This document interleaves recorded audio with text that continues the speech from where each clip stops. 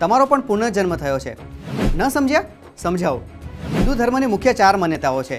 અવતારવાદ, કર્મવાદ, પુનર્જન્મવાદ અને મૂર્તિ પૂજા હિન્દુ અને બૌદ્ધ ધર્મીઓ પુનર્જન્મના ખ્યાલમાં માને છે. આ ખ્યાલ એવી માન્યતા પર આધારિત છે કે મૃત્યુ સમયે શરીર નાશ પામે છે, પણ આત્મા તો શાશ્વત છે, અમર છે અને તે જન્મ અને મૃત્યુના ચક્રનો અનુભવ કરે છે.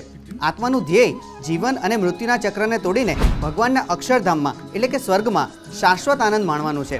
પરંતુ જ્યાં સુધી તેને કર્મફળ ભોગવવાનું બાકી હોય અને અક્ષર બ્રહ્મ ગુરુ ન મળે, ત્યાં સુધી તેને મોક્ષ એટલે કે સ્વર્ગની પ્રાપ્તિ નથી થતી અને પુનર્જન્મ લેવો પડે છે. વર્જિનિયા સ્ટેટ યુનિવર્સિટીના સાયકોલોજી વિભાગના વડા ઇયાન સ્ટીવન્સને ત્રણ હજાર બાળકો પર આ વિષય પર રિસર્ચ કર્યું. બેથી છ વર્ષની વયના બાળકો તેમના આગલા જન્મનો અનુભવ જણાવી શક્યા હતા.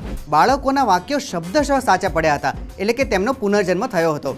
આથી જ પ્રાચીન કાળના લોકો પણ માનતા હતા કે મૃત્યુ પામેલી વ્યક્તિ ફરી જીવંત થશે.